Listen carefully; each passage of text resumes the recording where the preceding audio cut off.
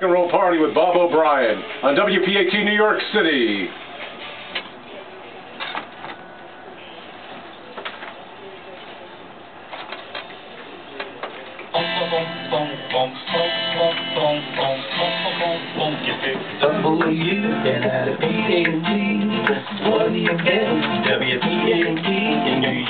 City.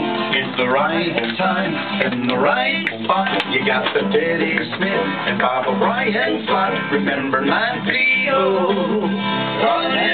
And I. What a show, folks, right here. We're going to play a little Elvis. Elvis Presley. Then we're going to be talking to Joe Franklin right here on WPAT New York City.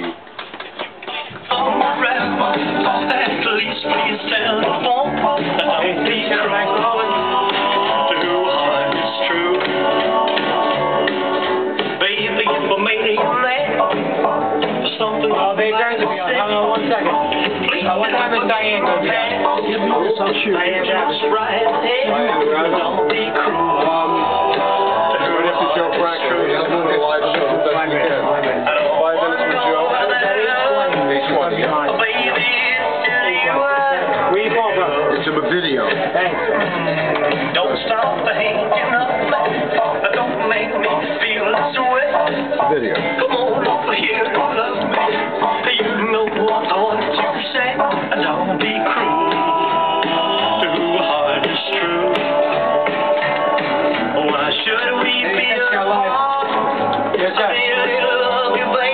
you making out?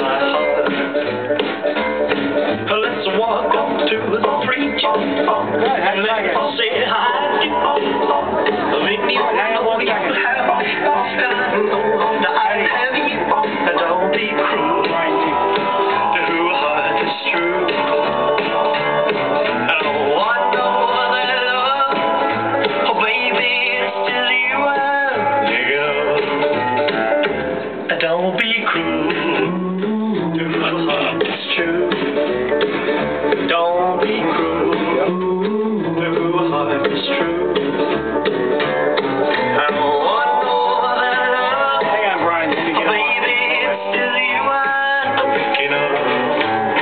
D. Yes. Elvis. With Teddy Smith right here on WPAT. That's a great, great evening here, folks. It's live radio at its best.